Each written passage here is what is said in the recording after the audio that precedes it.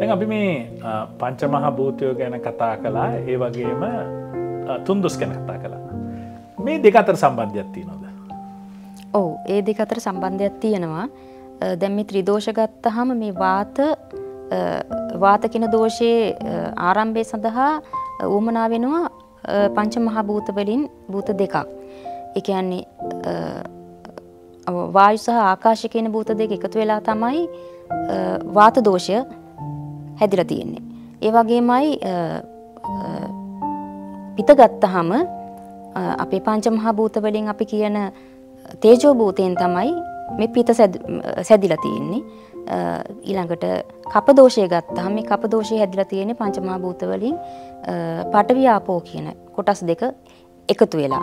දැන් ඒකේ තේරුම තමයි දැන් වාත දෝෂය ගත්තහම ඒකේ තියෙන ගමන් කරන සුළු බව. එතකොට අපිට ගමන් කරවීමේ සුළු බව ඇති කරන්නේ පංචමහා භූතවල වායු සහ ආකාශ කියන භූත දෙකෙන්. ඒ දෙක එකතු වෙලා තමයි මේ වාත දෝෂය හැදිලා තියෙන්නේ. ඊළඟට අපේ තේජෝ භූතය කියලා කියන්නේ අපේ පැසවීමේ ක්‍රියාවලිය කරන ශරීරයේ උණුසුම ඇති කරන ඒ ඒ පංචමහා භූතයන්ගේ අදාළ භූත කොටස. එතකොට ඒකෙන් තමයි අපේ පිත් දෝෂය හැදිලා තියෙන්නේ.